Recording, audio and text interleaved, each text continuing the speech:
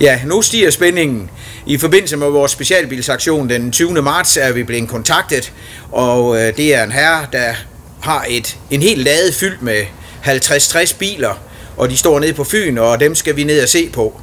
Så kunne vi få dem med på specialbilsaktionen den 20. marts, så ville det godt nok være helt fantastisk.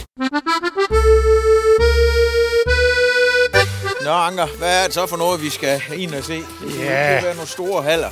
Ja, vi skal jo se på, på lidt biler, som jeg har samlet sammen gennem årene. Hvornår er du egentlig begyndt at samle Ja, i 68 startede jeg med den første. Ja, der er det så. Der er godt nok noget for en hver smag her. Hvad er der her? En 60 biler eller sådan Ja, noget? det- Det er så alle de biler her, vi har snakket om, at vi skal have op på aktionen Ja, oppe i Randers. Og det er alle mulige reservedele Ja, eller det her. ja. Og så havde du nogle andre lager, som vi så skulle sælge på en netaktion det- det senere. er der også, ja. Men de står faktisk rigtig pænt sådan i Jo, forhold jo, jo. alder. Det er jo, da de blev stillet ind, er de jo blevet vasket med voks. Det er at se. en taxi med fuld taxiudrustning og taxameter og frilygter og det hele. Hvad er det her så for en? Det er en af de allerede første Renault 4, der kom til Danmark i 62. Okay. De startede jo efter ferien i 61 at lave den. Ja. Efter de holdt op med Renault 4 CV'en, så startede de på det.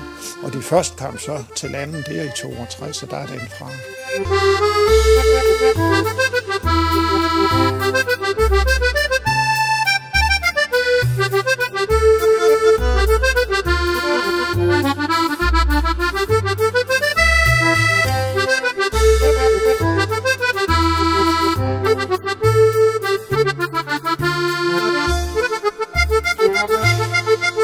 Jamen, øh, så har vi jo afhændt mange af vores gode gamle biler, Maja, som vi har kørt Europa, Norden, Tøndig. Ja, det er sådan Så- set lidt trist på en måde, men de får nok et godt hjem. Det håber tror jeg helt, det skal jo på landevejen. Det er jo det, det hører til. Ja, i forbindelse med ladefundet nede på Fyn, der er vi glade for, at vi har en stor erfaring i at flytte alle de her biler. Vi flyttede 60 biler på halvanden dag, og det er vi altså noget stolte af. Og folkene har jo gjort et kæmpe stykke arbejde. Transportørerne, de er sus frem og tilbage. Så vi er glade for at kan håndtere sådan nogle jobs, og det er selvfølgelig også derfor, at vi hele tiden bliver kontaktet i den forbindelse.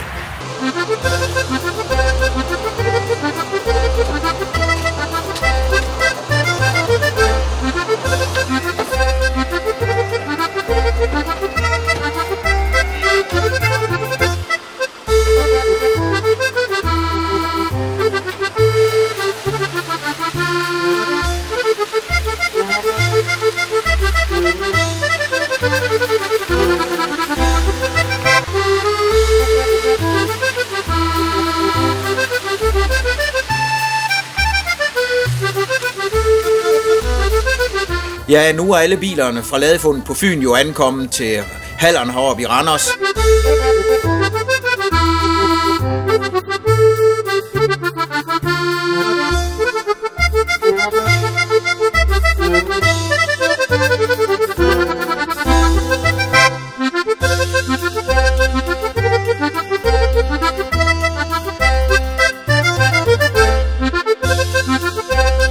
Så I kan godt glæde jer til Palme søndag.